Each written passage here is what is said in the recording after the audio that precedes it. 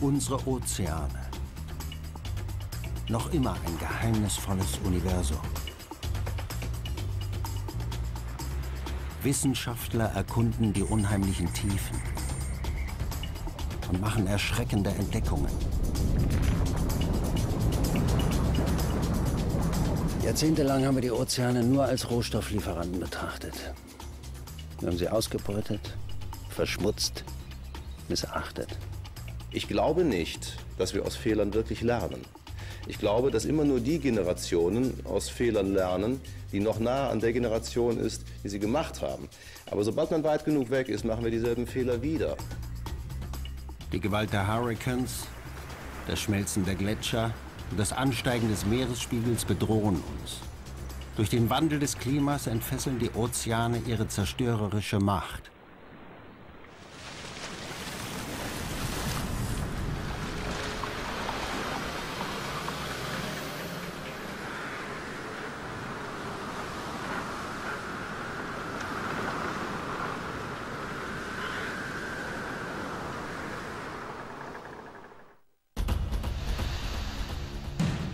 Die Wasser nahmen überhand und wuchsen sehr auf Erden, dass alle hohen Berge unter dem Himmel bedeckt wurden.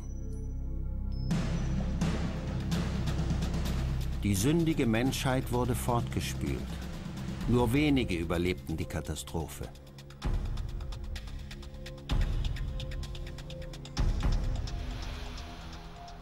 Der Mythos von der Sintflut bekommt heute eine völlig neue Bedeutung.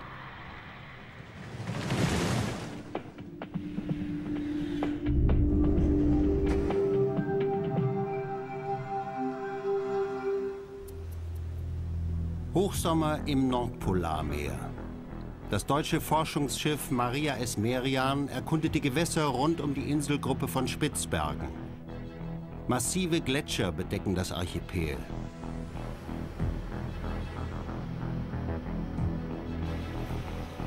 Es ist kalt, aber das Meer ist völlig eisfrei.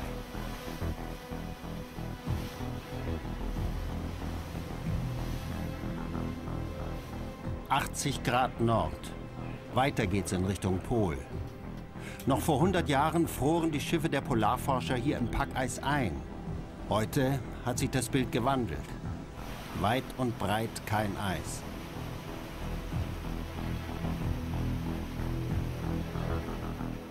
Das Satellitenbild zeigt das Ausmaß der Veränderung. Wir könnten fast bis zum Nordpol fahren, ohne auf Packeis zu stoßen. Inzwischen ist ja bekannt, dass unsere Welt sich schneller verändert, als uns lieb sein kann. Der Klimawandel, jahrelang umstritten, ist heute Wirklichkeit. Wie sich das in den nächsten Jahren auf unser aller Leben auswirken wird, ist bis jetzt noch Spekulation.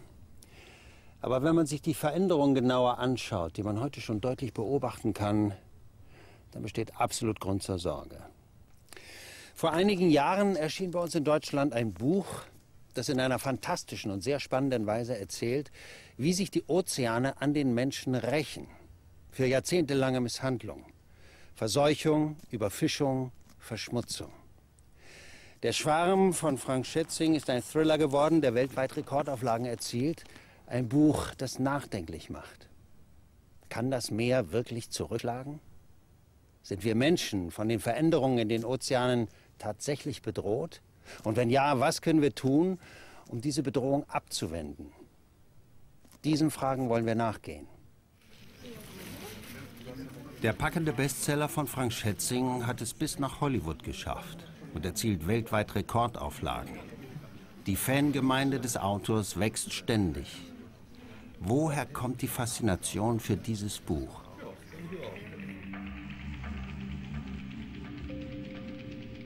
In der fantastischen Geschichte des Romans kommt es auf den Ozeanen plötzlich zu unerklärlichen Katastrophen. Weltweit verlieren Fischer ihre Boote und ertrinken.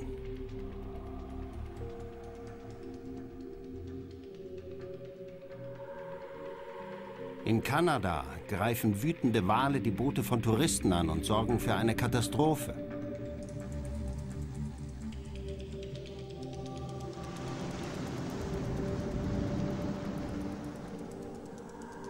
Hochgiftige Krebse erobern das Land und töten Menschen. Meeresforscher versuchen die Ursachen zu erkunden und verschwinden mitsamt ihren Schiffen. Schließlich kocht der Meeresgrund, ganze Gebirge geraten ins Rutschen, ein Tsunami bedroht weltweit die Küsten und dann beginnt der Golfstrom umzukippen.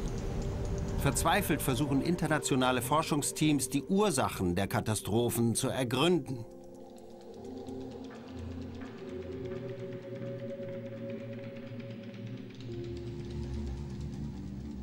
Was wäre eigentlich, wenn sich da unten eine Intelligenz entwickelt hätte, die uns ebenbürtig, wenn nicht sogar überlegen ist? Was würde das für unser Selbstbild bedeuten? Denn äh, jede Religion sagt ja mehr oder weniger, dass wir die äh, herrschende Rasse sind, dass dieser Planet für uns geschaffen wurde, dass wir also Ärger mit dem, äh, Ärger mit dem rumfuhrwerken können, wie wir das gerne möchten. Äh, und ich dachte, naja, stell dir mal vor, wir würden plötzlich der Tatsache gewahr, dass wir vielleicht gar nicht Gottes liebstes Kind sind. Da gibt es noch ein anderes. Ne? Für das ist eigentlich dieses große Spielzimmer errichtet worden und äh, wir sind eher der ungeliebte Bruder. Und dieses andere schlägt jetzt zurück. Es ist nicht nur Fiktion. Die Ozeane verändern sich. Die Wissenschaftler sehen das täglich. Die ganze Chemie der Meere gerät ins Wanken. Die Attacke auf den Golfstrom, wie der Roman sie beschreibt, ist nicht unrealistisch.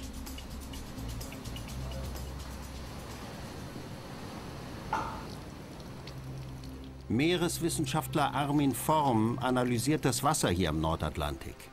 Sinkt der Salzgehalt, ist der Golfstrom tatsächlich bedroht.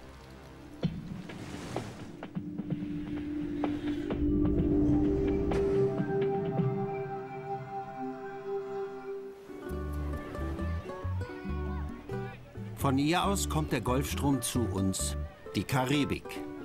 Urlauber aus aller Welt wärmen sich hier mal so richtig auf. Rund ums Jahr scheint die Sonne vom Himmel bei garantiert sommerlichen Temperaturen. Die Sonne bräunt nicht nur die Touristen, sie sorgt auch für angenehme Wassertemperaturen von fast 30 Grad. Hier, nur knapp nördlich des Äquators, erhitzt sich das Meerwasser wie in einem Heizkessel.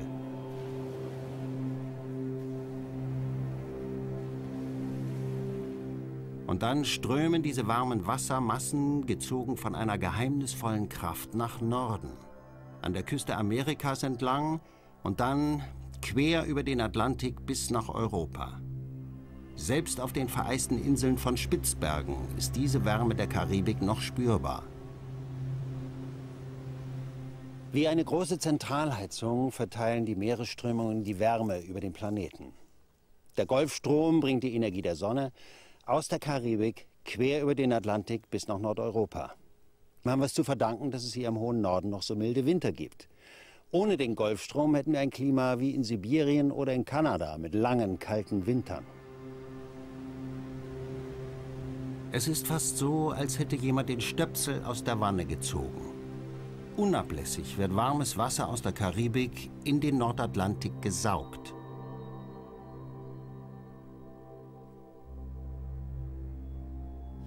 Aber kann eine solche Meeresströmung, die seit Jahrtausenden stabil ist, so einfach zusammenbrechen, wie einige Leute behaupten?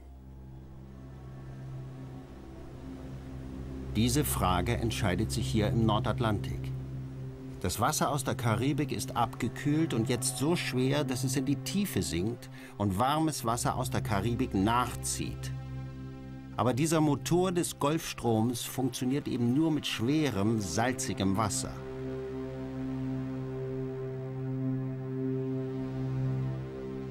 Erst in 3000 Meter Tiefe fließt der Strom zurück nach Süden. 100 Mal so groß wie der Amazonas. Wenn der Golfstrom versiegt, käme es zu einer Eiszeit in Europa. Es wird keinen Weltuntergang geben. Was ist denn die Welt? Bitte schön. Es gibt eine Welt in unserem Kopf.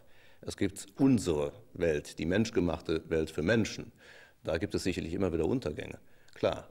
Und selbst da muss man sich vom Gedanken verabschieden, dass es diesen einen großen Weltuntergang gibt, äh, äh den eben die Religionen auch so gerne propagieren. Aber letzten Endes, wir sind eine unter Millionen von Spezies im Verlauf der Erdgeschichte, die sich bis jetzt entwickelt haben. Ähm, und die Welt besteht doch nicht nur aus uns.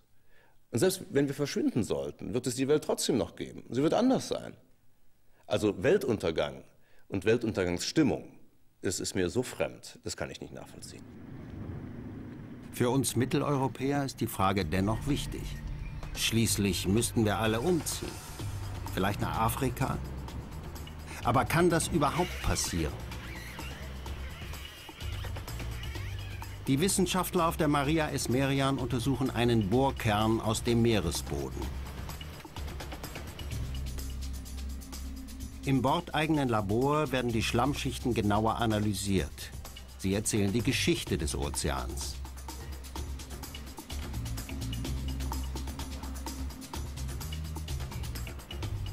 Mit der Zunge prüft Geologe Dirk Hebbeln, ob Sand oder Ton im Bohrkern steckt. Ein Bohrkern aus dem Nordatlantik liefert erste Indizien dafür, dass der Golfstrom tatsächlich gefährdet sein könnte. Über Jahrtausende war es immer wärmer geworden, aber dann, plötzlich, kühlte es rapide ab. In diesem Bohrkern ist die Geschichte des Klimas quasi eingefroren. Jede leichte Verfärbung steht für eine Änderung gegenüber der Zeit davor und danach. Und schaut man genauer hin, dann finden die Wissenschaftler erstaunliche Einzelheiten über Klima und Meeresströmungen vergangener Jahrtausende. Diese Verfärbung hier zum Beispiel erzählt die Geschichte der größten Naturkatastrophe der letzten 10.000 Jahre. Die Forscher nennen es das 8K-Event. Das K steht für Kilo, also für 1000.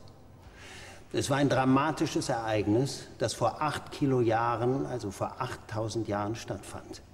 In Winnipeg ist Jim Teller dieser Katastrophe auf der Spur.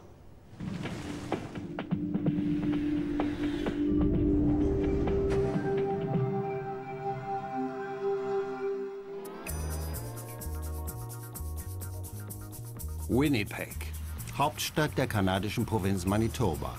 Mitten in Nordamerika eine endlose Ebene voller Seen. Hier arbeitet Jim Teller.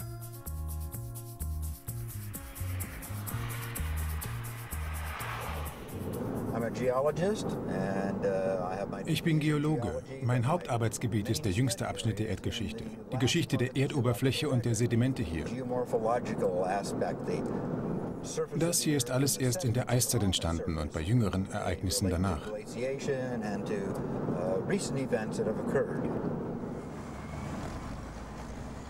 Gerade baut die Stadt einen Kanal. Der Untergrund der gesamten Baustelle besteht aus feinen Tonschichten. Kein Sand, kaum Steine.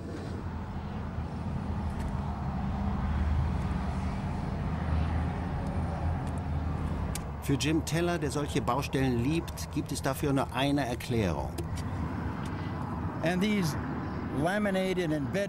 Diese flach abgelagerten Schichten sagen uns, dass hier ein See war und wir wissen, dass darauf Eisberge schwammen, die Steine herbrachten, wie diesen hier.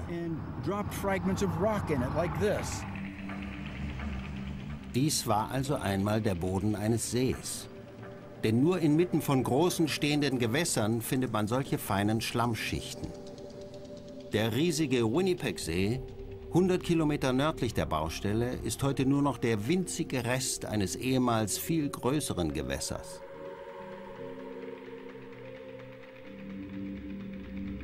Als sich der große nordamerikanische Inlandsgletscher am Ende der letzten Eiszeit nach Norden zurückzog, staute sich an seiner Südseite das Schmelzwasser zu einem Süßwassersee auf, der schließlich doppelt so groß und viermal so tief war wie die Ostsee. Die Wissenschaftler nennen ihn den Agassiz-See. Der Ort Winnipeg liegt genau in diesem Gebiet. Die Dächer der höchsten Häuser hätten noch immer 60 Meter unter der Wasseroberfläche gelegen. Eisberge drifteten vor 8000 Jahren mit dem Wind von der Eiskante des Gletschers nach Süden.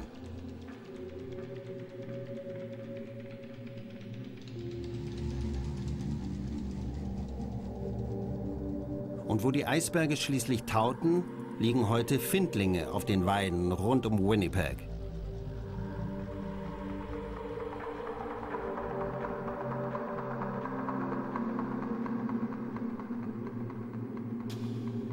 Aber wo ist der riesige Agassiz-See geblieben?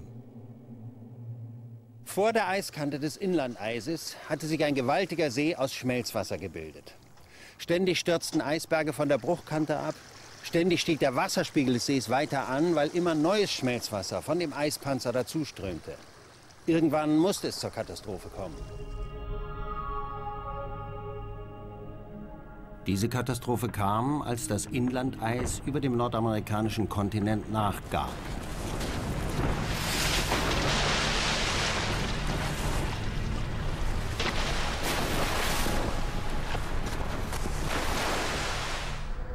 An einem Sommertag vor 8000 Jahren war es soweit. Das Eis konnte dem gewaltigen Wasserdruck des Sees nicht mehr standhalten. Die letzte Barriere brach.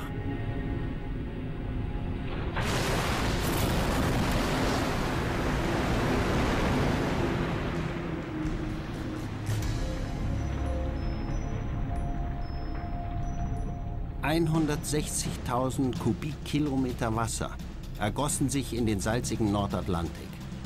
Das ist achtmal so viel wie die gesamte Ostsee fast. Das Süßwasser aus dem See verdünnte das Meer und stoppte so die Motoren des Golfstroms. Nur zwölf Monate dauerte es, bis der See ausgelaufen war. Damit begann die schlimmste Naturkatastrophe der letzten 10.000 Jahre. Die Eiszeit kam zurück.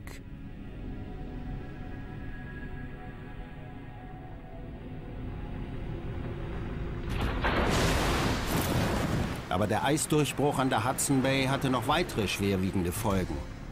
Die gewaltigen Wassermassen ließen den Meeresspiegel weltweit ansteigen. Um einen halben Meter in nur einem Jahr. Am flachen Nordende des Persischen Golfes drang das Wasser weit ins Hinterland vor. Für die Menschen im Zweistromland muss es wie eine Strafe der Götter gewirkt haben. War dies die Sintflut?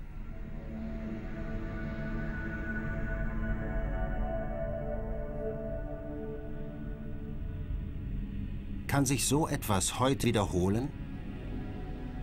Wir werden in einer Natur leben, auch in Zukunft, die letzten Endes macht, was sie will. Und die auch schon mal gerne von einem Extrem ins andere fällt. Dafür ist sie Natur. Wir sind hier zu Gast.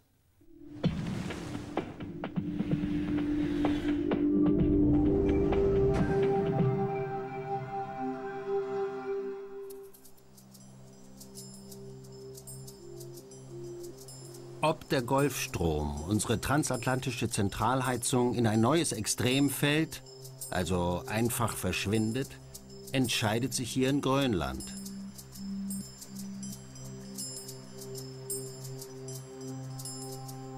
Über tausende Flüsse fließt Süßwasser in den Atlantik.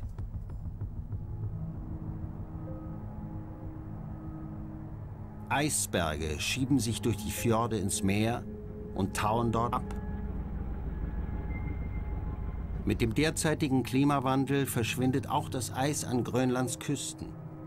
Aber wie schnell wird das gehen? Reicht es aus, um den Golfstrom zu stören? Und wie verhält sich der mächtige Eispanzer im Hinterland?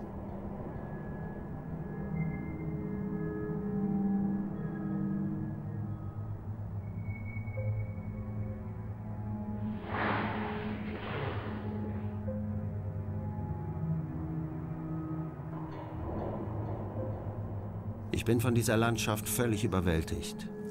Von der Größe, der Weite, der Klarheit der Luft und der langsamen Bewegung des Eises.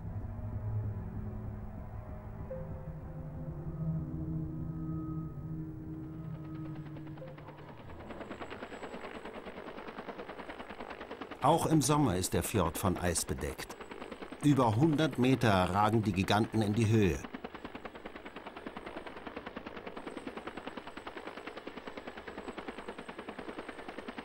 Wir sind auf dem Weg zum größten Süßwasserreservoir der Nordhalbkugel.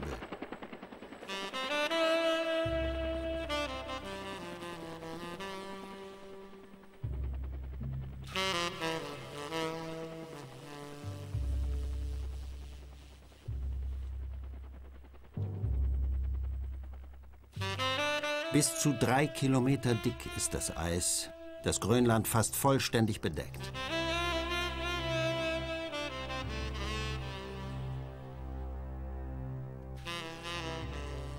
Wenn dieses Eis schmilzt, steigt der Meeresspiegel weltweit um sieben Meter.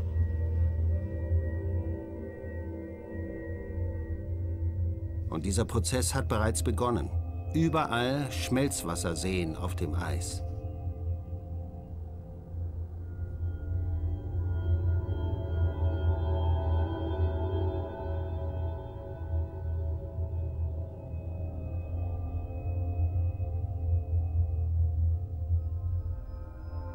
Immer schneller taut es an den Rändern Grönlands.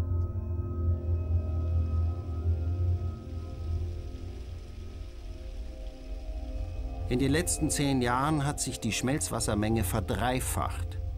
Ob und wie lange sich das Eis Grönlands dem Klimawandel noch entgegensetzen kann, ist die große Unbekannte.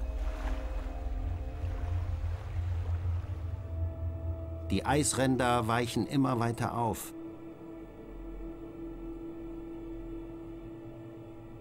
Die Gletscher rutschen mit Geschwindigkeiten von bis zu 40 Metern pro Tag ins Meer. Weltrekord.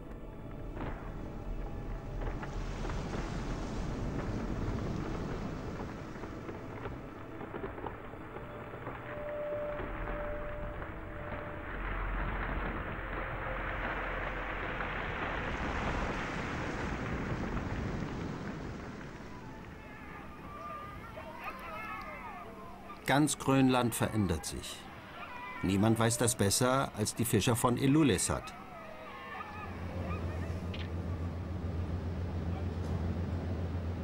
Fischfang ist eine der Haupteinnahmequellen Grönlands. Am Hafen sitzen die Männer zusammen und präparieren ihre Langleinen.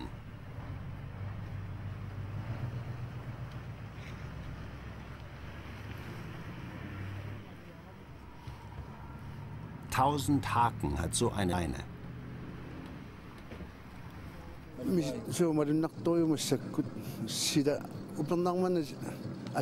Wir Fischer spüren die Veränderungen hier natürlich.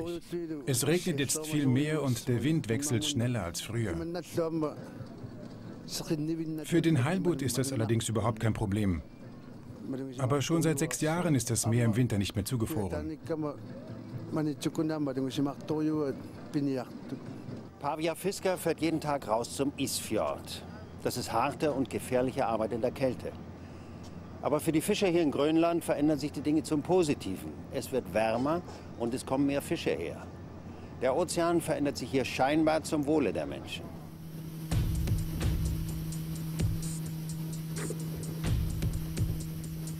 Seit das Meer nicht mehr zufriert, kann Pavia mit seinem Bruder jeden Tag rausfahren. Nur der Fjord macht Probleme.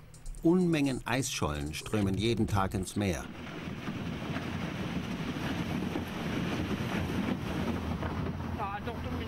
Wenn das leichte Plastikboot ein Leck bekommt, wird es schnell gefährlich. In dem kalten Wasser überlebt man nur wenige Minuten.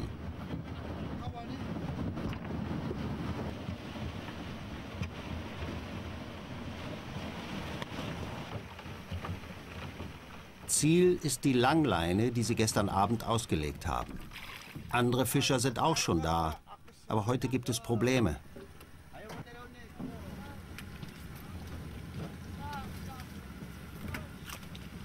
Zwar hängt an jedem dritten Haken ein fetter schwarzer Heilbutt, aber die Leinen der Fischer haben sich verheddert.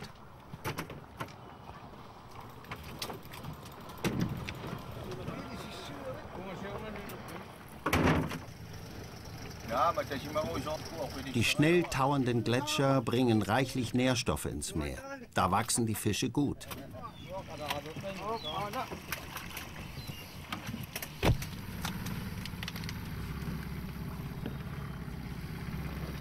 Für die Fischer von Grönland hat der Klimawandel fast nur Vorteile.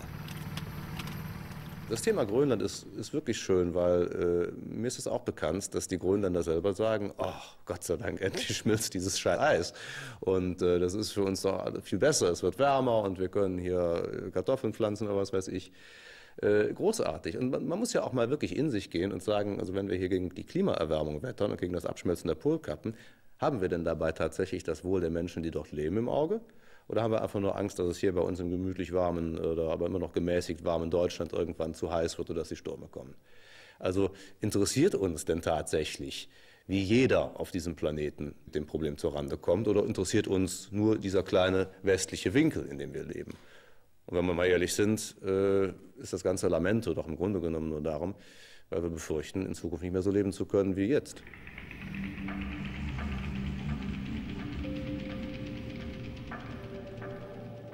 Grönlands Eis, so schön es ist, ist heute einer der großen Unbekannten in den Vorhersagen der Klimaforscher. Niemand weiß genau, wie es sich in Zukunft verhalten wird.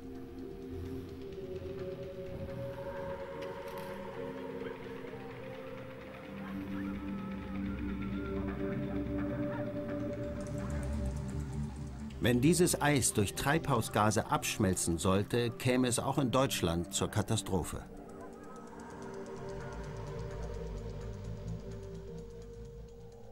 Erst 300 Jahre nach dem Auslaufen des Agassizsees war der Golfstrom wieder stabil. Aber das gefrorene Süßwasser Grönlands ist eine tickende Zeitbombe. Noch ist das kalte Wasser salzig genug, um in die Tiefe zu sinken. Noch wird warmes Wasser aus der Karibik angesogen. Noch funktioniert der Motor unserer Zentralheizung.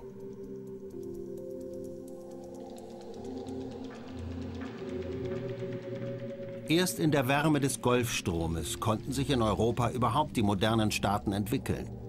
Der Klimawandel bedroht nun die europäische Zivilisation. Aber auch die Tropen leiden.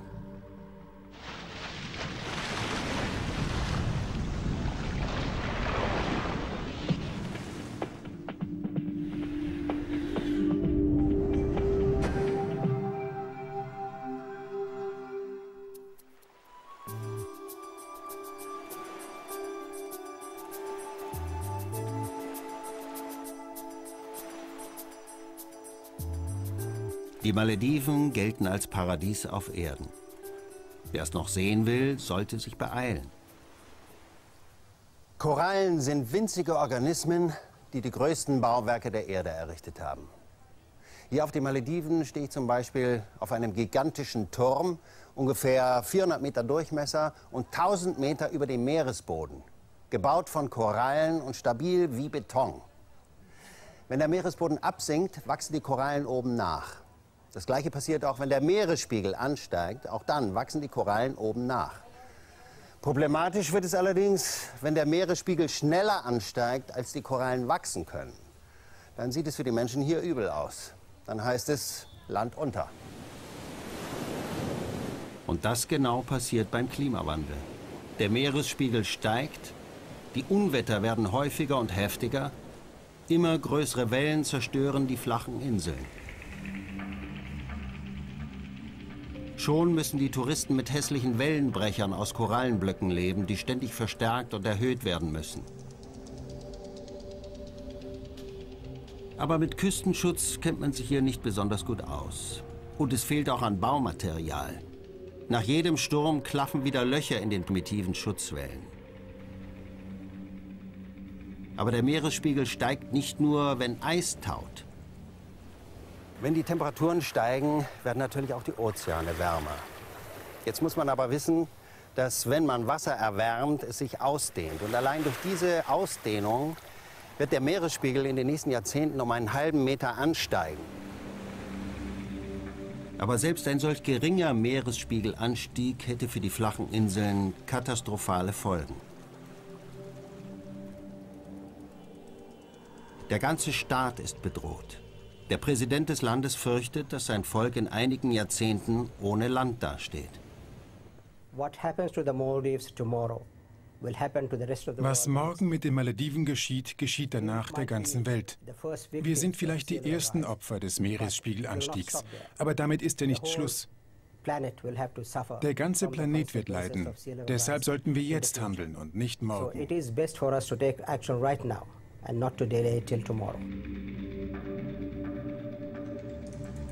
Die Vertreibung aus dem Paradies ist wohl nicht mehr zu vermeiden. Nach den Malediven versinken dann die Küsten der Kontinente im Meer. Warum lassen wir das zu? Wir sind ja nun mal letzten Endes Menschen und nicht Maschinen. Äh, wir denken nicht in Statistiken. Wir denken nicht über das Schicksal von Milliarden Menschen nach, weil wir uns gar nicht Milliarden Menschen vorstellen können, sondern im Grunde sind wir immer erst dann erschüttert, wenn sich der Nachbar, den wir persönlich kennen, in den Finger geschnitten hat.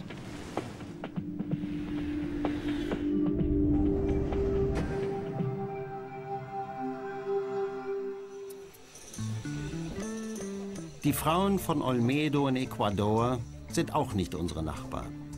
Sie leiden schwer unter dem Vordringen des Meeres, aber niemanden scheint es zu kümmern. Bei Niedrigwasser gehen sie raus ins Watt, um Nahrung für sich und die Familien zu suchen.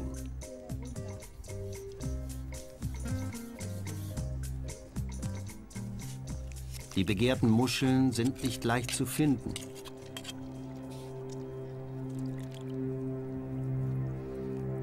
Der Weg führt durch die Reste alter Gebäude. Was ist hier geschehen? Das waren die Häuser der Senora Fidelina. Sie hatte hier ihre Kokosplantage.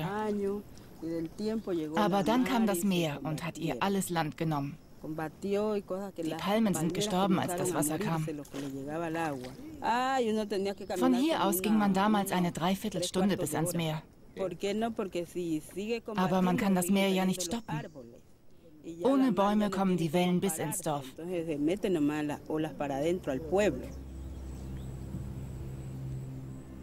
Hier senkte sich die ganze Küste nach einem Erdbeben. In Olmedo kann man heute schon sehen, was in 50 Jahren weltweit an den Küsten passieren wird.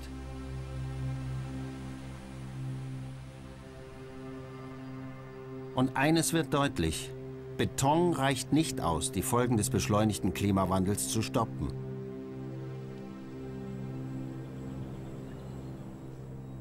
Auch ohne unser Dazutun wird es eine nächste Eiszeit geben, wird es eine nächste Warmzeit geben, äh, werden die Polkappen abschmelzen. Es ist nur idiotisch, wenn wir das beschleunigen. Äh, und vor allen Dingen beschleunigen, äh, indem wir um die Auswirkungen wissen. Denn dann werden wir irgendwann die holländischen Wassersportgebiete haben und auch Florida wird eher die Seenplatte sein. Äh, und Miami wird so gerade noch rausgucken. Also das sind natürlich Effekte, die wir vermeiden sollten. Aber können wir das noch vermeiden? Die Hochwasserkatastrophe hier in Olmedo zeigt uns, was auch auf die Küsten Europas zukommen wird.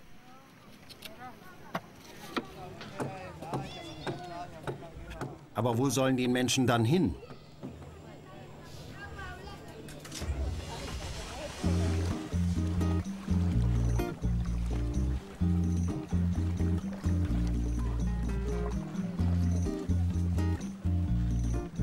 Die Frauen machen sich wie eh und je Tag für Tag auf den Weg in das unüberschaubare Labyrinth der Mangrovensümpfe.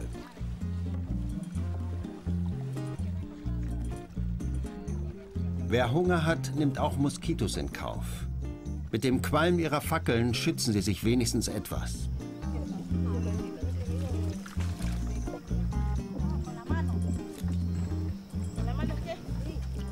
Auch hier zwischen den Wurzeln der Mangroven im tiefen Schlamm gab es immer Muscheln, die schmackhaften Concha Negra.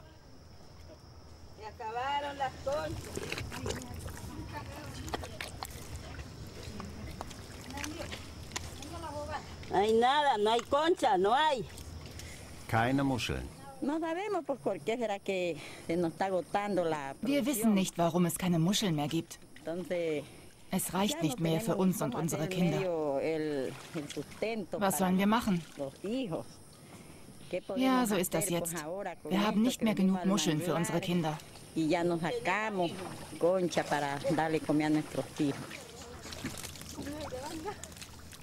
Das Hochwasser ist nur ein Problem. Das Dorf hungert. Die Frauen finden immer weniger Muscheln.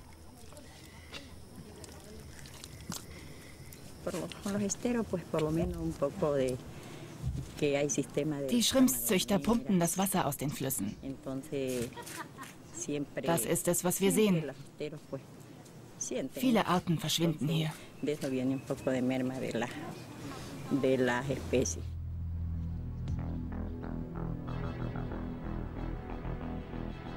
Nur wenige hundert Meter weiter sind die Wälder verschwunden. Stattdessen Zuchtteiche für Schrimps.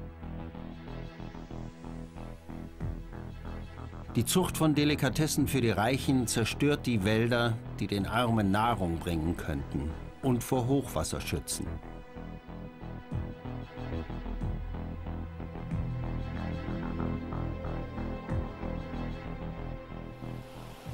Manche von Ihnen werden vielleicht sagen, ach, in 100 Jahren ist doch eh alles vorbei, was soll's. Aber das ist nur bedingt richtig. Was ist mit unseren Kindern? Sollen die vielleicht erleben müssen, wie ihre Kinder und Enkelkinder ertrinken oder verhungern?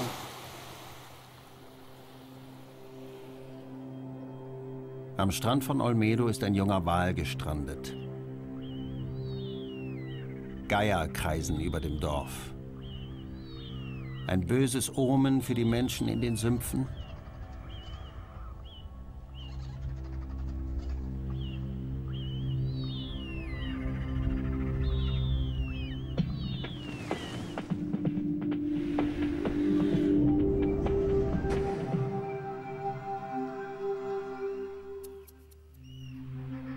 Ozeane verbinden die Kontinente miteinander.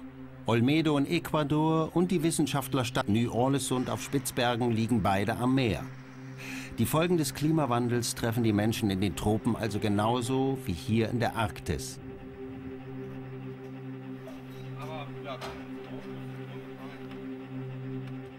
Jeden Tag um 13 Uhr geht der Physiker Rainer Fockenroth in die Ballonhalle, um die Forscher in aller Welt mit den aktuellen Daten von Luftfeuchte, Temperatur und Luftdruck zu versorgen.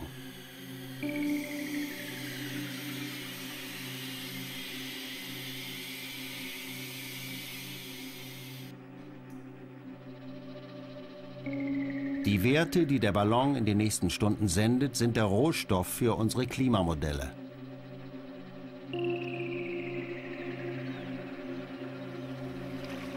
Nirgends auf der Erde wird es so schnell wärmer wie in der Arktis. Der Fjord friert nicht mehr zu. Die Gletscher lassen eine Schotterlandschaft zurück. Das empfindliche Ökosystem verändert sich so schnell, dass viele Tiere auch im Sommer Hunger leiden, weil Nahrungsketten zusammenbrechen.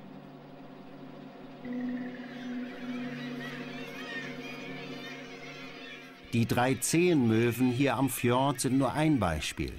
Ende Juli ist Brutzeit. Die Küken warten auf Futter, auf fetten Eisdorsch, den die Eltern im Meer fangen sollten.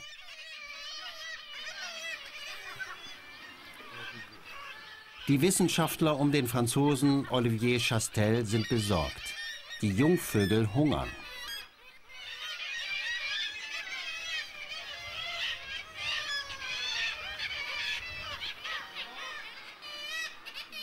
Das Lasso verletzt die Tiere nicht.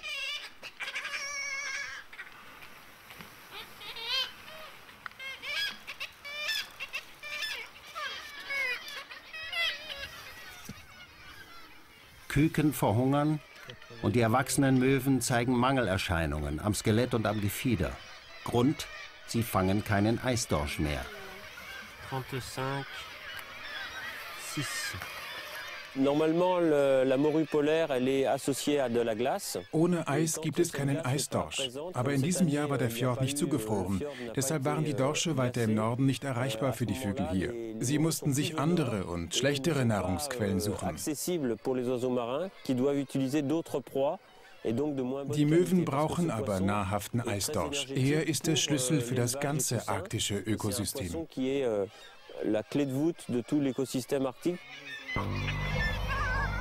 Die Temperaturen steigen, das Meer friert nicht mehr zu, der Eisdorsch verschwindet und mit ihm fast alle anderen Tiere am Kongsfjord. Die jungen Polarfüchse, die eigentlich gern Möwen fressen, suchen jetzt Nahrung in der Siedlung. Auch sie gehören zu den Verlierern des Klimawandels.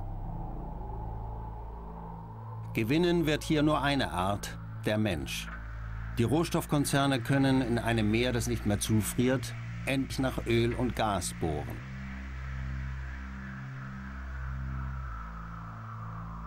Und ohne das störende Eis verkürzt sich auch die Schifffahrtsroute von Europa nach Asien um ein Drittel. Der größte Containerterminal zwischen Hamburg und Tokio könnte hier in Spitzbergen entstehen. Natürlich freuen sich die, äh, die Förderer der fossilen Energien, ähm, wenn das Eis abschmilzt, weil dann können sie da bohren gehen.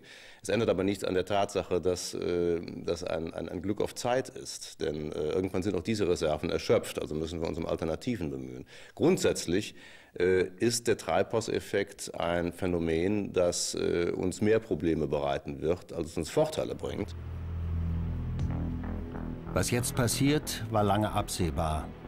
Die Ozeane rächen sich. Die Wissenschaft hat uns gewarnt. Es ist Zeit zu handeln. Die Frage, die wir uns einfach stellen müssen, ist, welche Erde wollen wir haben? Und ich glaube schon, dass wenn wir jetzt die geeigneten Maßnahmen ergreifen, äh, über längere Zeiträume hinweg das System sich wieder so verändern wird, äh, dass es zu unserem Vorteil ist. Ich denke, das kann der Planet leisten, aber dafür müssen wir in gewaltige Vorleistungen treten. Jahrzehntelang haben wir die Ozeane nur als Rohstofflieferanten betrachtet. Wir haben sie ausgebeutet, verschmutzt, missachtet. Die Meere reagieren jetzt auf diese Misshandlungen. Sie verändern sich. Das Gleichgewicht der Natur pendelt sich auf einem anderen, neuen Niveau ein.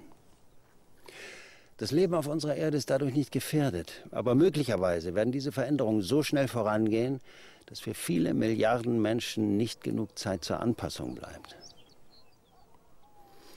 Es sind nicht Frank Schätzings blaue Leuchtwesen aus der Tiefe der Meere, die uns bedrohen. Es ist keine Schwarmintelligenz, die die Menschheit attackiert. Wir sind es selber, die wir unseren eigenen Lebensraum zerstören. Ein wenig Zeit zum Umdenken bleibt uns noch aber nicht mehr viel.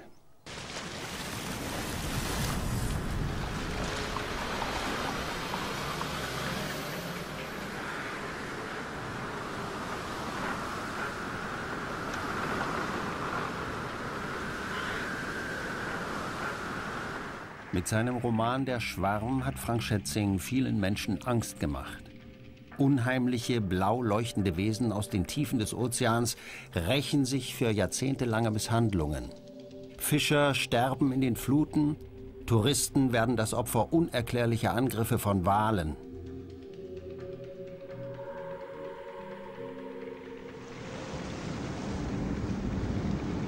Giftige Krebse erobern das Land. Wissenschaftler versuchen die Ursachen zu erkunden, doch sie verschwinden mitsamt ihren Forschungsschiffen im Meer.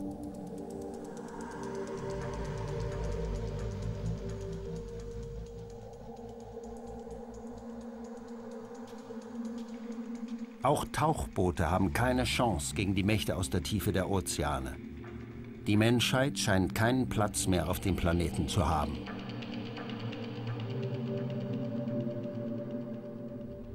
Und tatsächlich muss man auch sagen, die Höherentwicklung von Spezies hat immer dann stattgefunden, wenn Katastrophen sie dazu gezwungen haben, sich weiterzuentwickeln.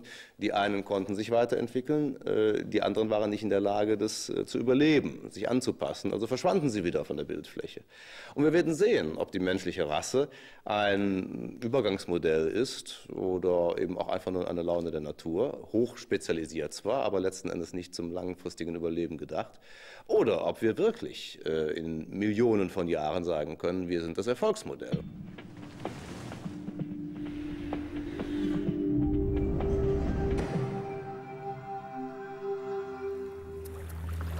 Die Ozeane verändern sich, und zwar weltweit. Der Meeresspiegel steigt und das Wasser wird wärmer. Aber da die Ozeane so groß sind, geht das alles nur sehr, sehr langsam voran. Wir spüren es kaum. Nur wenn mal wieder ein Hurricane seine unbezwingbare Stärke zeigt oder ein Tsunami Hunderttausende in den Tod reißt, dann blicken wir erschrocken auf und fragen, kann das eigentlich auch bei uns passieren? Aber wir wenden uns schnell wieder dem Alltag zu, bloß nicht so genau nachfragen. Frank Schätzing hat einen sehr spannenden Roman geschrieben, Der Schwarm. Er erzählt eine Geschichte, in der die Natur zurückschlägt gegen die täglichen Misshandlungen des Menschen. Die Ozeane wehren sich. Ob diese Geschichte realistisch ist, sei dahingestellt. Tatsache ist jedoch, dass die Meere sich verändern. Und zwar nicht nur an den Polen, sondern auch hier in den Tropen. Wenn wir einen kurzen, aufmerksamen Blick unter die Wasseroberfläche werfen, kann das jeder sehen.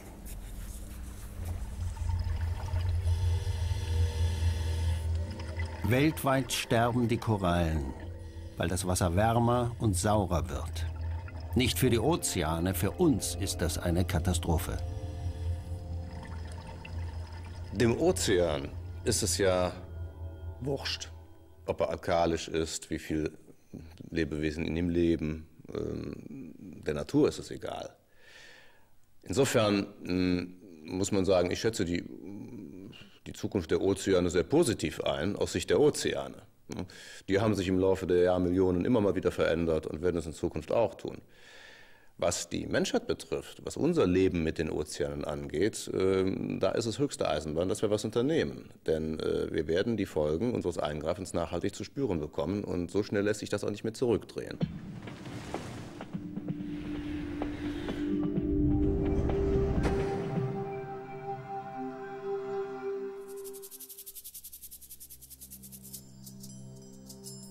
Die Küste von Vancouver Island gehört wohl zu dem Schönsten, was die Erde hervorgebracht hat.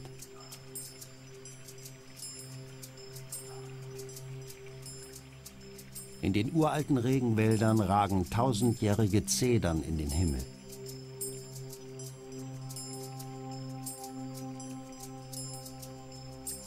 Dies sind die Kathedralen der amerikanischen Westküsten-Indianer.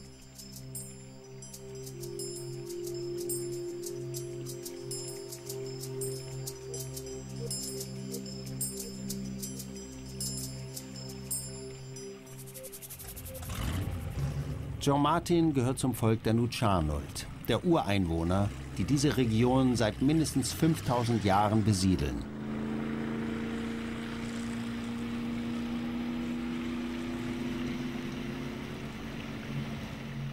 Auf seinen ausgedehnten Bootstouren durchstreift er die Nebenarme des Clackwood Sounds, der Heimat seiner Urahnen.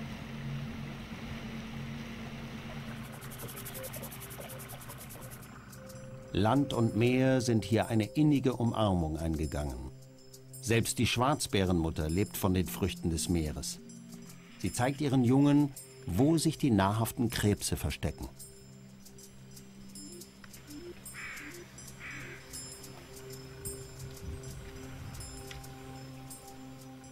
The ocean had provided our people with uh, all of the resources for them to exist here.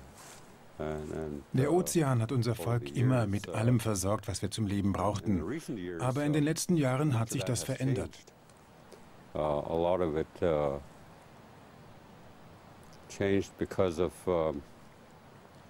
Naja, wie ihr da drüben sehen könnt, wird hier der Wald zerstört.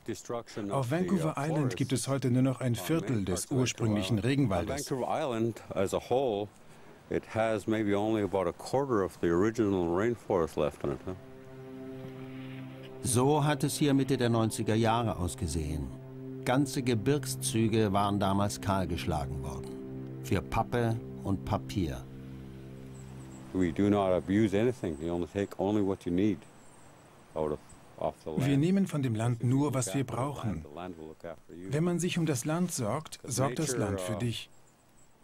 Die Natur kann unsere Bedürfnisse befriedigen, aber wir dürfen nicht gierig werden.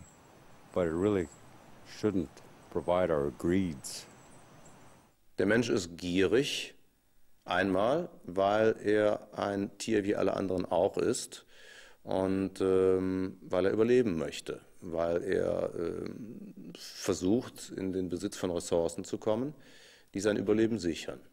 Zum Zweiten ähm, versorgt er seine Familie. Auch das tut jedes Tier.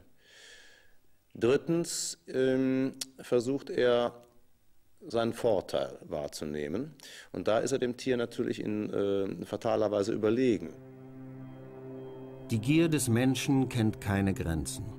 Aus den tausendjährigen Zedern sind längst Telefonbücher geworden.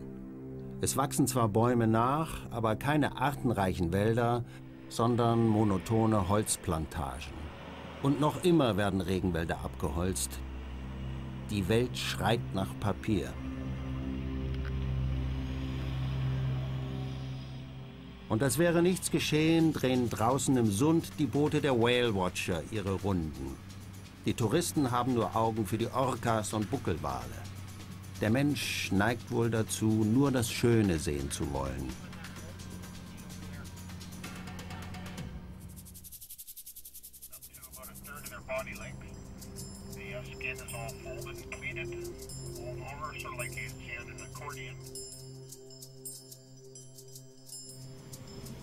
Wale scheinen da eine große Anziehungskraft auszuüben. Auf der einen Seite gehen wir hin und rotten die Wale aus, und auf der anderen Seite beten wir sie ja fast schon an. Also irgendwo zwischen Sushi und Religionsersatz muss sich dieses arme Lebewesen ja nun tummeln. Äh, und ich finde es wichtig, dass wir diesen unverstellten Blick auf die Natur wieder bekommen, in der wir erstmal äh, unsere persönlichen Wertvorstellungen außen vor lassen und sagen, gut, so sind die Haie, so sind die Wale, so ist der Hering, so ist der Krake. In Schätzings Roman greifen die Wale an. Aber eigentlich sind sie doch eher friedlich.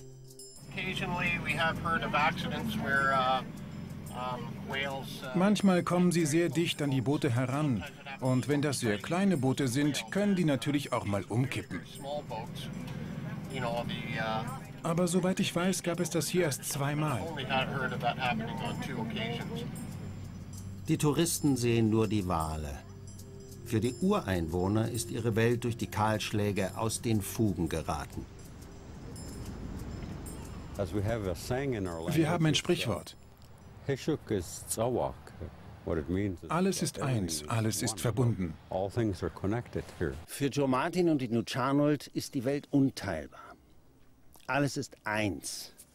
Eine Anschauung, die er mit allen amerikanischen Ureinwohnern teilt und die sich auch in der modernen Wissenschaft von komplexen Systemen mehr und mehr durchsetzt.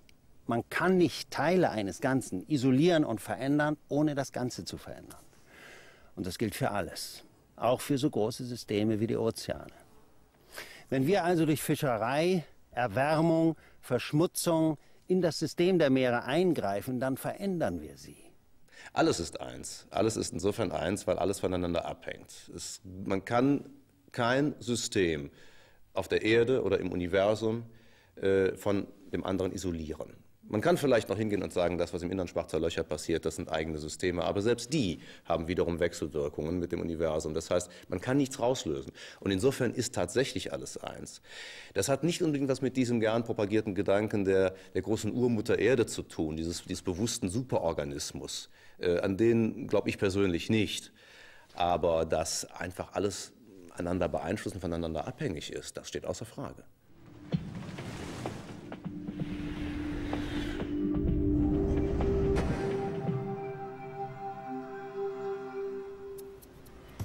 Das deutsche Forschungsschiff Sonne auf Mission im Südpazifik.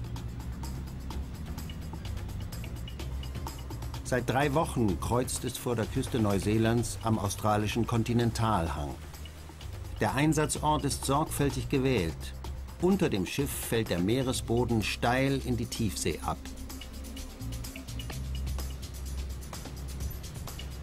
Die Wissenschaftler an Bord haben Geräte entwickelt, mit denen sie den Abhang 1000 Meter unter dem Schiff erforschen wollen.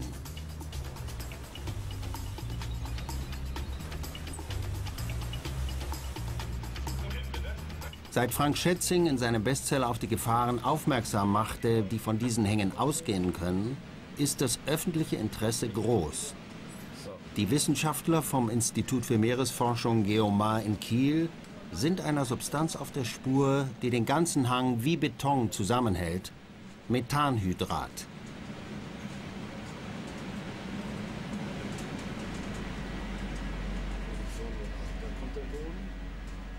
In über 1000 Metern Tiefe finden sie die ersten Spuren.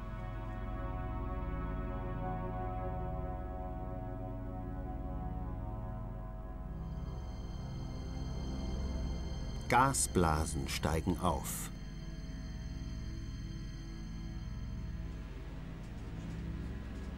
Peter Linke setzt das Gerät ab.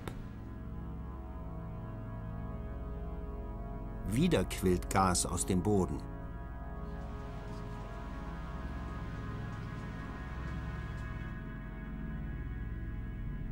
Probenahme erfolgreich. Mit jedem der sechs Plexiglasrohre kommt ein Stück Meeresboden nach oben.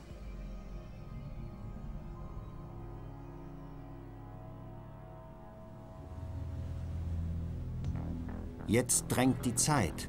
Methanhydrat ist sehr flüchtig. Welches Geheimnis bergen die Proben aus der Tiefsee?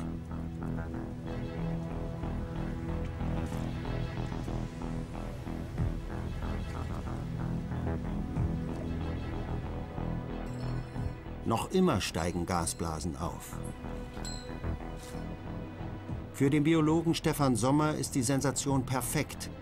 Er findet einen bislang völlig unbekannten Wurm, der in dieser sonst so lebensfeindlichen Umgebung von Methan lebt. Fast wie in Frank Schätzings Roman.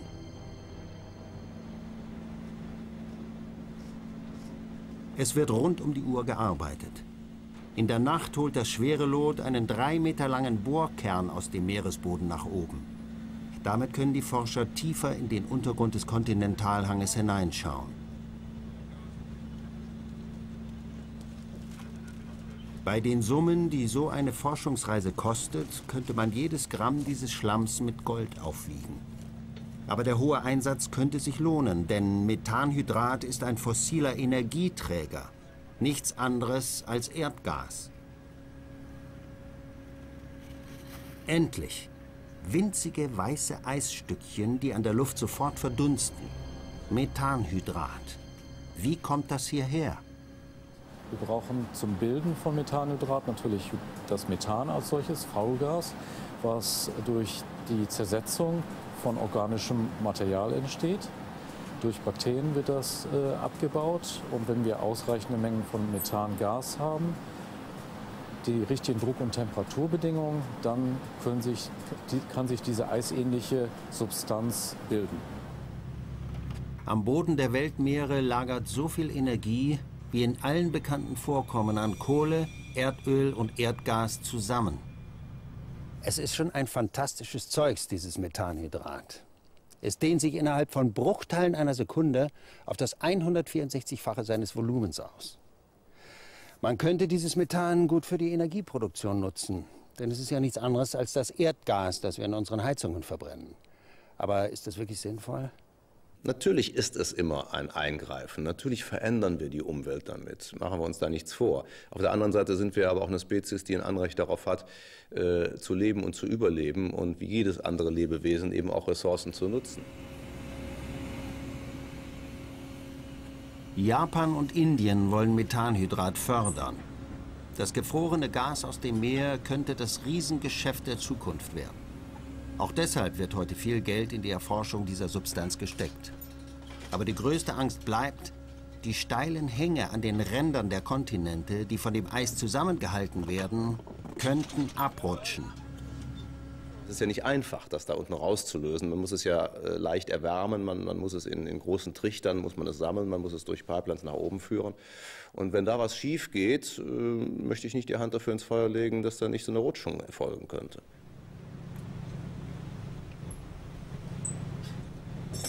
Um die physikalischen und chemischen Vorgänge am Hang genauer zu verstehen, wird an Bord der Sonne erst einmal Grundlagenforschung betrieben. Wie hoch ist die Temperatur am Boden? Wie stabil ist der Hang? Beginnt das Methaneis schon aufzutauen, weil das Wasser dort unten wärmer wird, infolge des Klimawandels?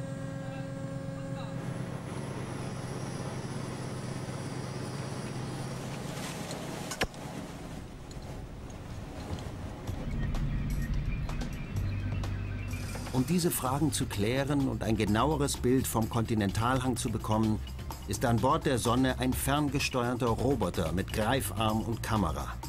Er kann 2000 Meter tief tauchen.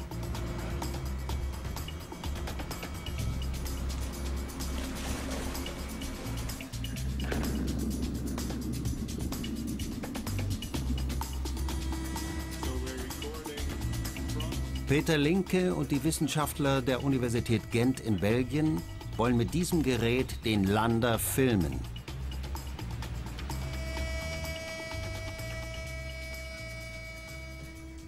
Es dauert eine Dreiviertelstunde, bis der Roboter am Boden ist. In 1080 Metern Tiefe klärt sich das Bild und die Kamera überträgt Szenen aus einem unbekannten Universum.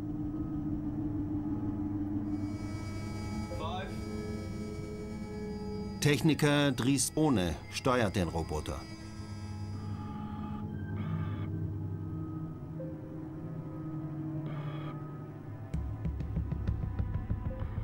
Zum ersten Mal klare Bilder vom schmelzenden Methanhydrat auf den Monitoren.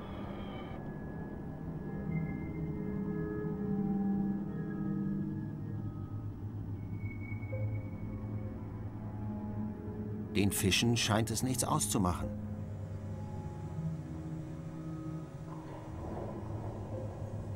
Dries sucht den Lander, der hier irgendwo stehen muss, und er orientiert sich an den GPS-Daten.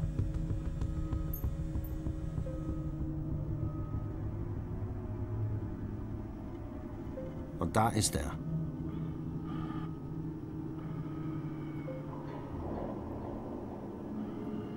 Es ist wie auf einem fremden Planeten. Eine einzigartige Lebenswelt, die sich von Methan ernährt.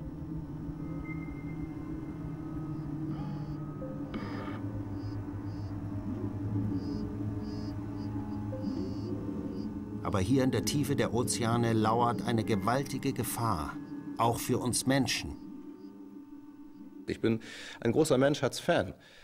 Ich denke schon, dass wir exzeptionell sind, aber wir sind äh, deswegen trotzdem Teil der Natur. Äh, wir wechselwirken mit ihr, wie alles in der Natur miteinander wechselwirkt. Und mitunter kommt eben auch mal eine große Welle und wäscht ein paar von uns weg. Das ist nun mal so. So eine Welle kam vor 7000 Jahren als das Meer nach der Eiszeit wärmer wurde und das Methanhydrat vor der Küste Norwegens auftaute. Der Kontinentalhang wurde schließlich auf 290 Kilometer Länge instabil.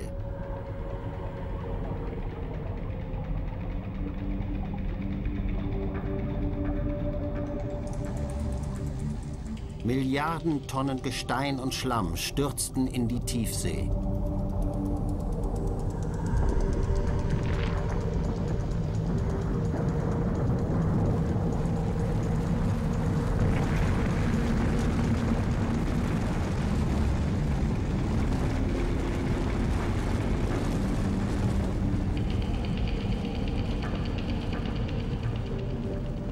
Schlamm- und Geröllmassen reichten fast bis Island.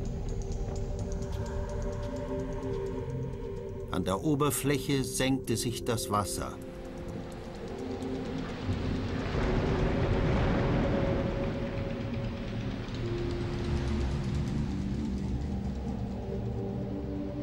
Die Folge war ein gigantischer Tsunami, der die Küsten der Nordmeere überrollte. Solch eine Katastrophe kann sich jederzeit wiederholen.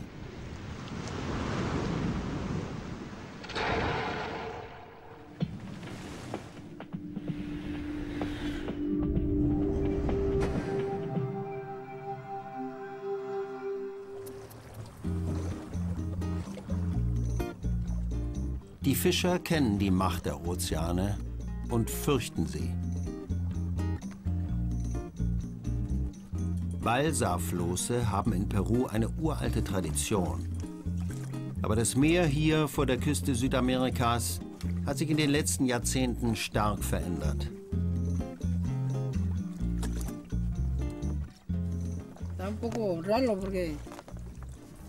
Etwas seltsam heute.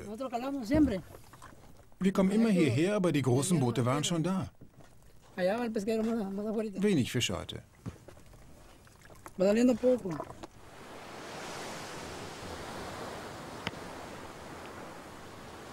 100 Millionen Menschen leben weltweit vom Fischfang an den Küsten.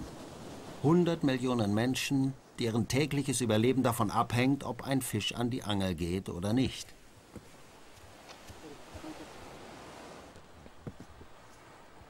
Was die Menschen hier sorgt, ist die warme Strömung. Sie nennen sie El Niño.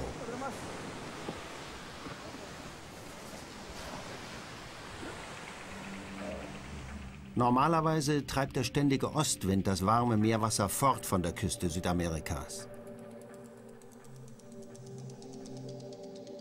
Aus der Tiefe steigt dann kaltes und nährstoffreich Wasser auf.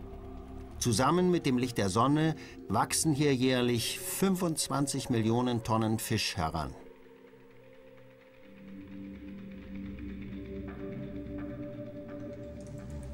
Aber wenn der Ostwind nachlässt, schwappt das Warmwasser zurück. Das ist El Niño.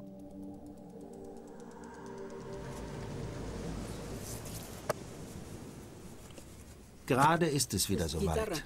Das warme Wasser ist da, die Fische werden knapp. Chosto kennt das und er fürchtet es auch, denn es kann Hunger bedeuten. Fremde Fische hängen plötzlich am Haken.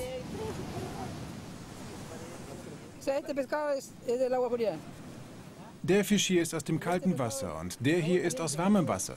Genauso wie der hier. Der ist auch aus kaltem Wasser. Vor fünf Jahren gab es noch mehr Fisch. Das hat mit dem Klima zu tun. Wenn das Wasser nicht fließt, gibt es keinen Fisch.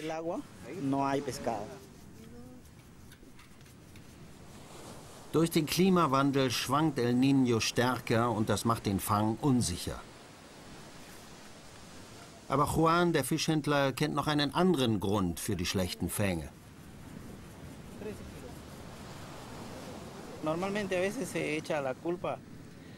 Die Menschen sind selber schuld an dem, was auf dem Meer passiert.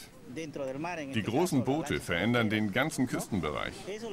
Die Industriefischerei fängt an, innerhalb der Fünf-Meilen-Zone zu fischen. Das darf nicht sein.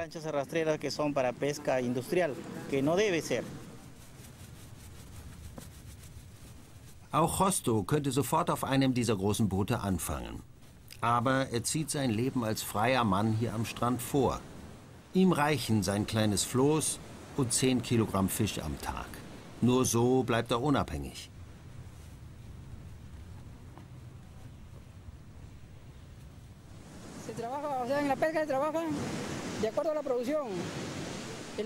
Auf den großen Booten muss man alles durch fünf teilen. Das Darlehen für das Boot und das Benzin. Und das, was über ist, müssen sich dann drei Leute teilen.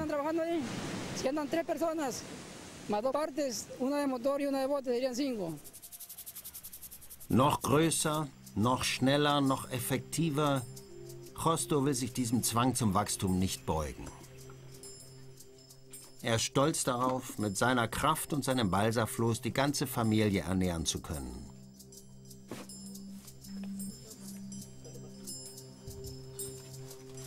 Zehn Kilogramm Fisch täglich. Das reicht für das Leben seiner siebenköpfigen Familie.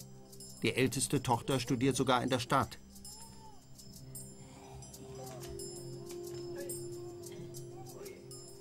Chostos größte Freude sind seine kleinen Söhne, Zwillinge.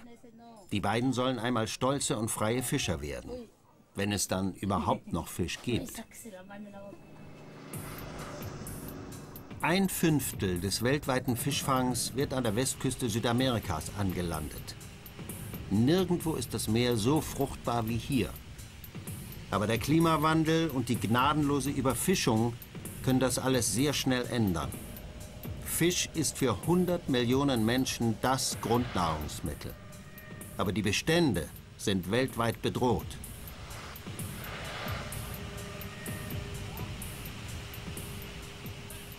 Wir haben die Meere ganz klar überfordert und wir tun es noch. Ähm, wir haben sie überfordert durch die Industrialisierung des Fischfangs. Damit geht's los. Ähm, das heißt, wir haben viel zu viel rausgeholt und äh, dies vor allem wieder besseres Wissen getan. Also, es gibt einen, einen Teufelskreis und dieser Teufelskreis sagt, äh, du weißt zwar, dass, sagen wir mal, der Kabeljau vom Aussterben bedroht ist, aber wir können die letzten Reserven nicht schützen denn sonst verlieren die Fischer ihr Brot. Also fahren die Fischer raus, verdienen ihr Brot noch ein bisschen länger, holen den letzten Kabel raus und dann sind sie arbeitslos, dann aber wirklich nachhaltig. Und zum immer schneller werdenden Raubbau an den Ressourcen unseres Planeten kommt dann auch noch der Klimawandel. Was ist, wenn die Rohstoffe knapp werden? Was ist, wenn die Landwirtschaft nicht genügend Lebensmittel produzieren kann? weil es zu viel oder zu wenig regnet. Weil das Klima sich so schnell verändert, dass die Bauern keine Zeit haben, sich anzupassen.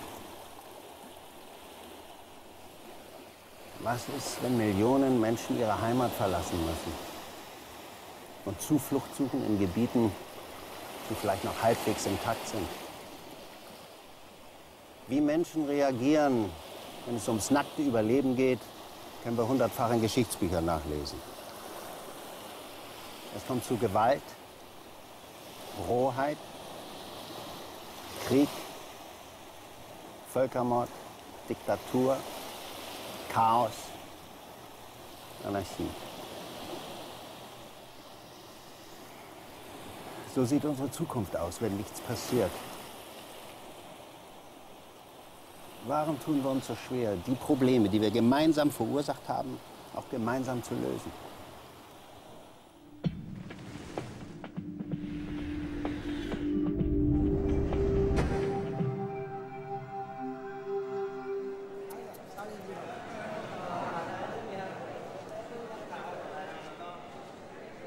Die Zusammenhänge in den Ozeanen sind sehr komplex. Nicht nur die Überfischung bedroht die Fischbestände, der gesamte Lebensraum verändert sich. Fisch wird zum Luxusgut. Die Fischer hier in Male machen noch recht gute Fänge und sie erzielen auch ganz gute Preise. Das liegt an den vielen Touristen, die hierher kommen. Aber was wird sein, wenn in absehbarer Zeit die Korallen verschwunden sind? Dann sind auch die Fischbestände bedroht.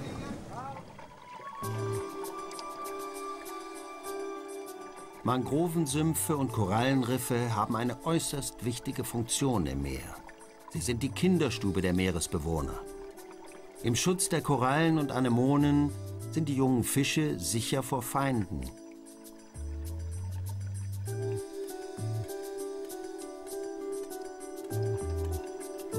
Die ungeheure Vielfalt der Riffe ist noch lange nicht erforscht.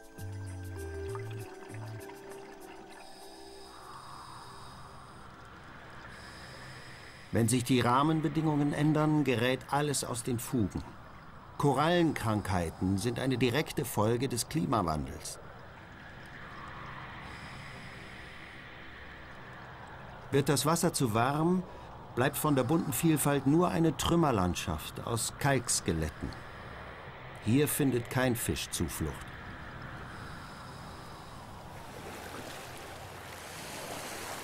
Es sieht ja fast so aus, als wären wir Menschen nicht in der Lage, einen gemeinsamen Konsens zu finden, um den Klimawandel zu stoppen oder zumindest abzumildern. Wir sind zwar in der Lage, in 30 Stunden um den Globus zu fliegen, aber wir kümmern uns herzlich wenig um das Leiden der Menschen, über die wir hinwegfliegen.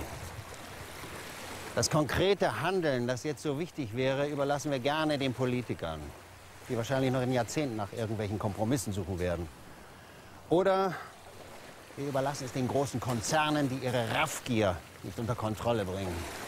Ich möchte jedenfalls nicht, dass mich meine Kinder eines Tages fragen, warum ich das alles zugelassen habe. Warum ich mich nicht entschiedener für den Schutz der Umwelt eingesetzt habe, für den Schutz der Atmosphäre und den Schutz der Ozeane.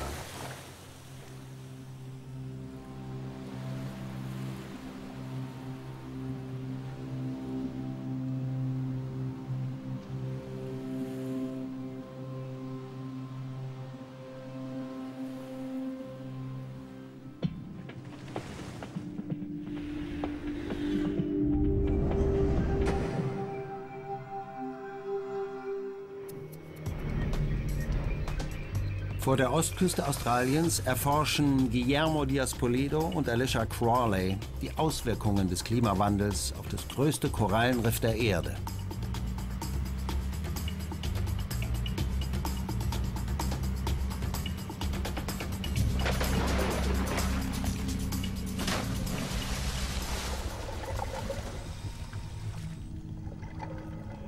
Regelmäßig tauchen die beiden Wissenschaftler von der University of Queensland hinab zu ihren Riffen, um zu sehen, wie sie sich verändern.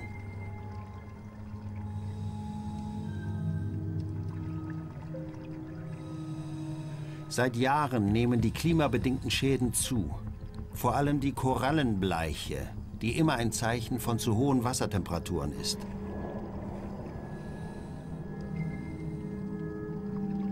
Der Ozean ist viel zu warm. Korallen haben hier keine Zukunft.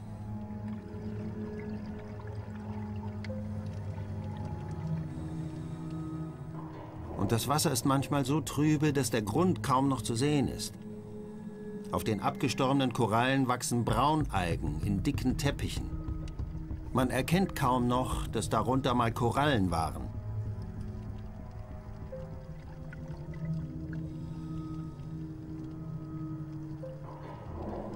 Algen sind zurzeit die großen Gewinner des Klimawandels. Wie sich die Meere verändern, das wissen wir oft gar nicht. Und leider stellt sich heute heraus, dass sich völlig neue Zustände einstellen können, die sich von den alten grundlegend unterscheiden.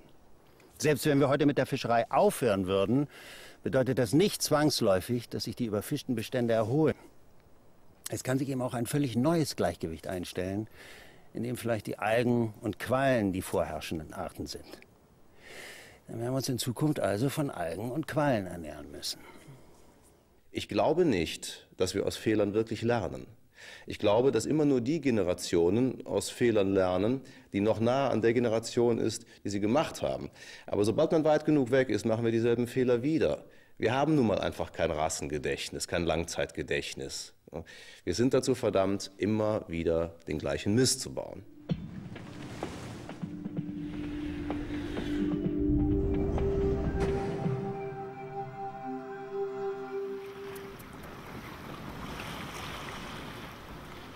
Laufen wir also sehend in eine Katastrophe? Winter im Oslofjord. Das deutsche Forschungsschiff Alcor ist unterwegs, um die kalten Tiefen der Fjorde zu erforschen. Mit dabei ist das Tauchboot Jago, das weit in die dunklen Abgründe vordringen kann.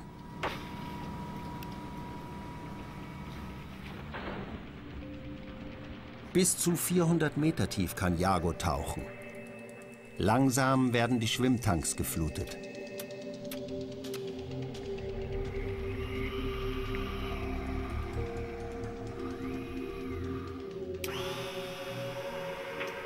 Okay, Jürgen, ihr seid jetzt ungefähr, ja, ich würde sagen, 80 Meter südwestlich von der Position 1153. Alles in Ordnung, Tiefe 25 Meter, wir gehen nach unten.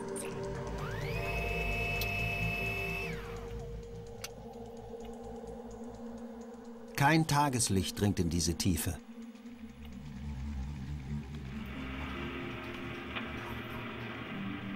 Karin Hissmann leitet das Tauchboot vom Schiff aus. Wir sind gelandet, Tiefe 135 Meter. Starke Strömung, starke Strömung.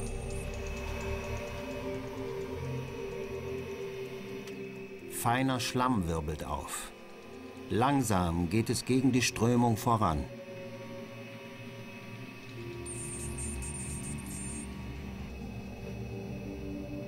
Plötzlich ändert sich das Bild. Vor uns tauchen helle Gebilde aus der Dunkelheit auf. Als wir näher kommen, erkennen wir ein Riff.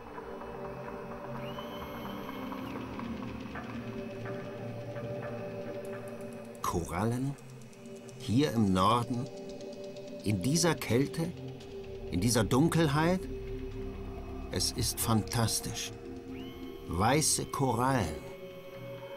Und sie leben. Kaltwasserkorallen brauchen kein Licht.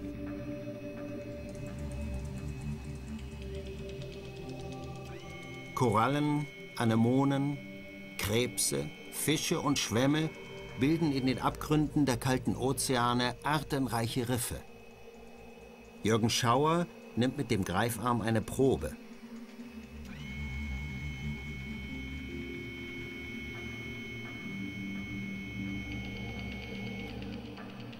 Nach zwei Stunden geht es wieder nach oben.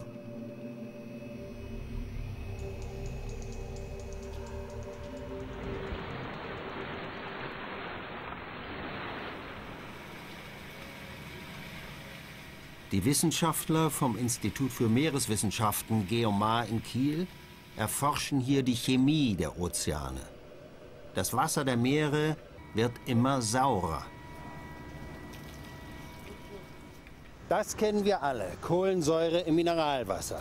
Wenn wir die Flasche öffnen, sprudeln Blasen hoch. Das ist Kohlendioxid. Das gleiche, was wir in die Atmosphäre pusten, wenn wir Auto fahren oder wenn wir heizen. Aber das funktioniert auch umgekehrt. Kohlendioxid kann sich im Wasser lösen und dann wird das Wasser sauer. Das ist die Kohlensäure. Und genau das passiert in den Ozeanen. Kohlendioxid aus der Luft löst sich im Wasser und die Meere werden sauer. Für Organismen aus Kalk hat die Versauerung des Meereswassers fatale Folgen. Kalk und Säure, das geht nicht zusammen.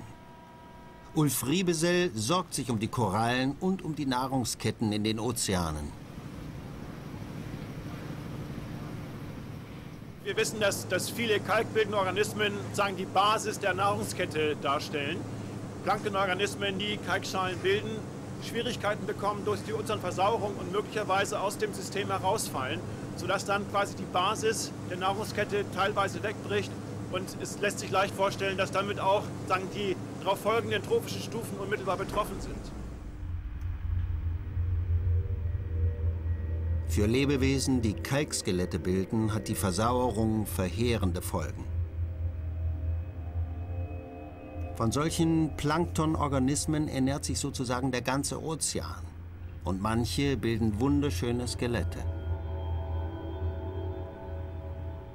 Saures Wasser aber löst diese Skelette auf. Osteoporose, Knochenschwund im Meer.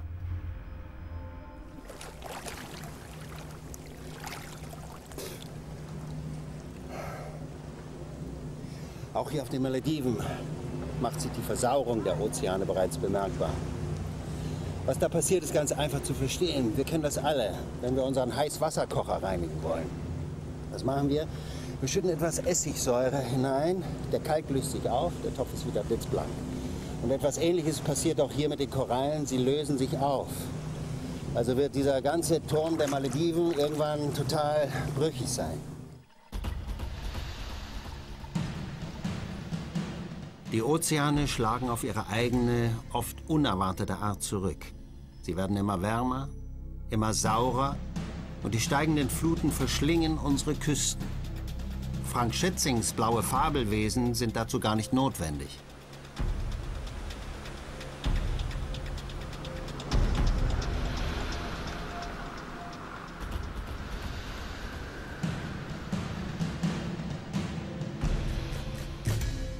Die Rache der Ozeane macht an den Ufern der Kontinente nicht Halt.